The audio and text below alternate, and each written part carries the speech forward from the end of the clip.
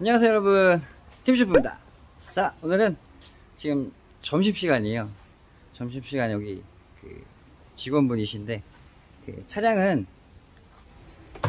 어, 야, 펠리세이드. 2019년식이고요. 지금 그 5만 4천 정도 운행하셨고 어, 엔진오일 교체랑 그 또 동절기 대비해서 어, 일상 점검 요청하셔가지고 지금 음, 작업 진행할 건데 오늘 엔진을 교체하는 과정하고 그리고 이제 연식이 한 2년? 2년이죠? 2년 정도 됐으니까 기본적인 점검들을 좀 해드릴 거예요. 그래서 오늘 그 과정 보여드리기 위해서 네, 촬영하고 있습니다. 자, 작업 한번 신나게 한번 시작해 보겠습니다, 여러분들. 출발!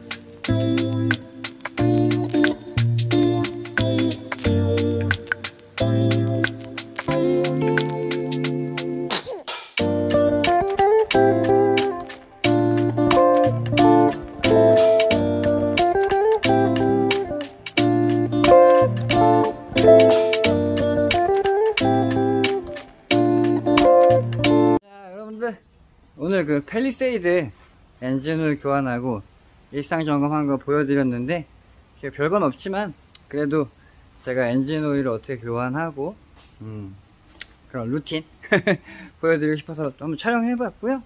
또, 뭐 별거 아니지만 좀 잘 못 보시는 것들 앞으로도 많이 올려드리겠습니다. 자 오늘 이야기는 여기까지고요. 저도 밥 먹으러 가야겠어요. 여러분들 식사들 하시고요. 다음에 또 언제나 예, 친구 같은 형 동생 같은 정비사로 항상 이 자리에서 좋은 이야기들 많이 전해드리겠습니다. 여러분들 오늘도 시청해주셔서 감사합니다.